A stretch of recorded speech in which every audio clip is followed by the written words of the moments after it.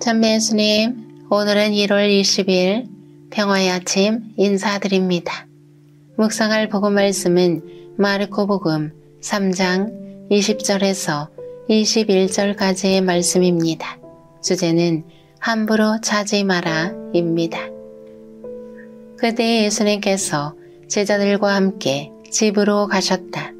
그러자 군중이 다시 모여들어 예수님의 일행은 음식을 들 수조차 없었다. 그런데 예수님의 친척들이 소문을 듣고 그분을 붙잡으러 나섰다. 그들은 예수님께서 미쳤다고 생각하였던 것이다. 주님의 말씀입니다. 안도현님의 시 가운데 너에게 묻는다 라는 시가 있습니다. 제목이 너에게 묻는다 입니다. 그 내용을 보면 아주 간단하고 명료합니다. 연탄재 함부로 차지 마라. 너는 누구에게 한 번이라도 뜨거운 사람이었느냐? 우리 예수님은 뜨거운 사람이셨습니다. 아픈 이들을 고쳐주고 위로와 자비의 손길이 필요한 곳이면 어디든 가서 함께 해주시고 건강과 행복을 되찾게 해주셨습니다. 연탄의 임무는 까맣게 생긴 자신을 태우며 빨갛게 변화하고 열을 내서 추운 곳을 따뜻하게 만들어주는 것입니다. 연탄이 온전히 자신을 다 태우고 나면 그 수명을 다합니다. 타담한 연탄은 더 이상 쓸 수가 없습니다. 연탄에 불을 지피면 서서히 달아오르면서 전체로 퍼지고 끝까지 온전히 타고 나면 밖으로 내던져집니다. 어떤 사람은 길 가다가 자기 성질을 연탄재 차버리는 데 사용합니다.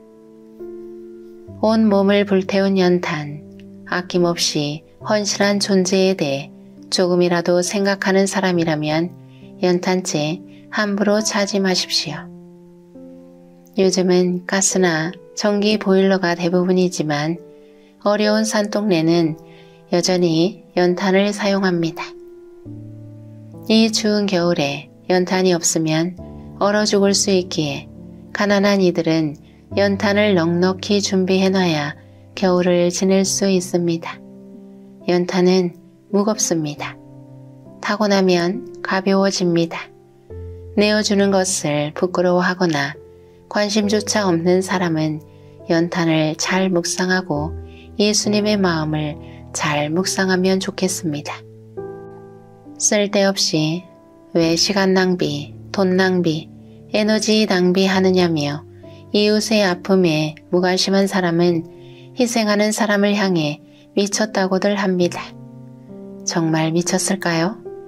거칠게 입 밖으로 내뱉은 소리지만 그의 양심에서는 말할 것입니다. 네가 미쳤다고 말입니다.